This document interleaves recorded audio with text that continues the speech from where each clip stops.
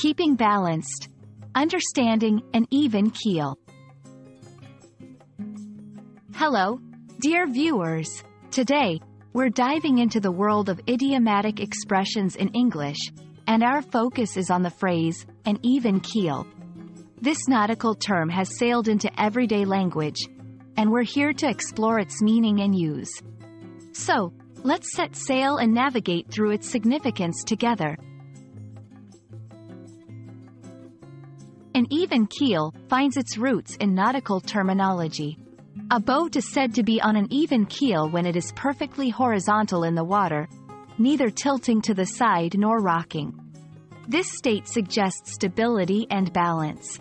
From ships to daily English, this phrase has evolved to mean maintaining a steady balance in life or situations.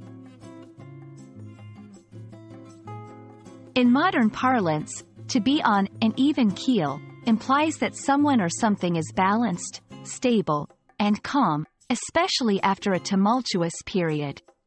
It's often used in the context of emotions, business, and anything that can experience instability.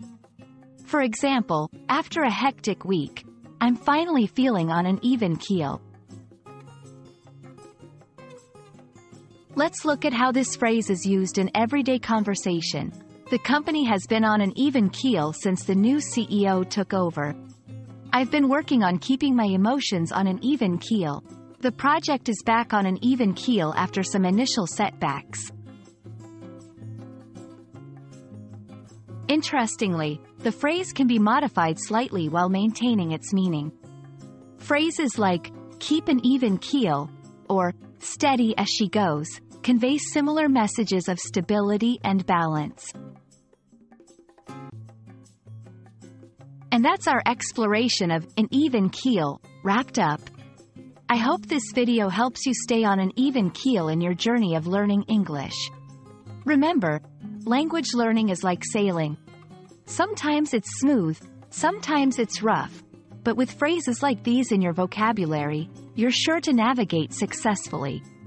Thanks for watching, and see you in our next video.